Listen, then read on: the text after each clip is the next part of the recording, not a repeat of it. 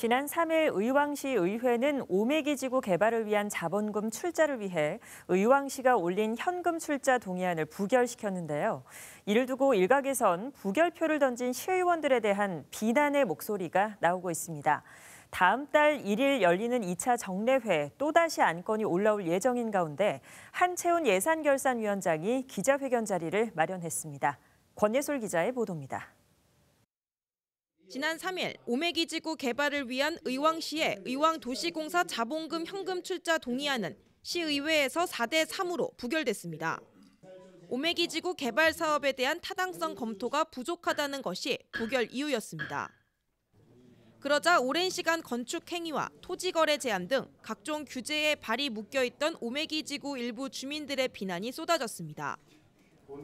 이에 대해 예산결산특별위원장을 맡은 한채훈 의원은 기자회견을 열어 오메기 지구 개발에 대한 각종 의혹을 해명했습니다.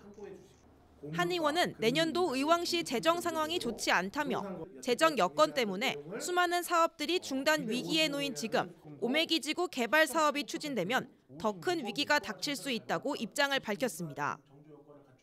또 의왕 시가 재정 안정화 기금을 출자금 재원으로 사용하려는 것에 대한 우려를 표했습니다. 재정 안정화 기금은 통상적으로 어, 재난 상황이라든지 시급한 비상 상황 때 사용하는 그런 이제 기금이고 어, 지금 세입이 줄어들 전망인데 그 250억 원이라는 예산을 어, 재정 안정화 기금에서 사용한다는 것은 어, 과연 이제 시민들께서 이해하실지에 대한 그런 의문들이 있고요.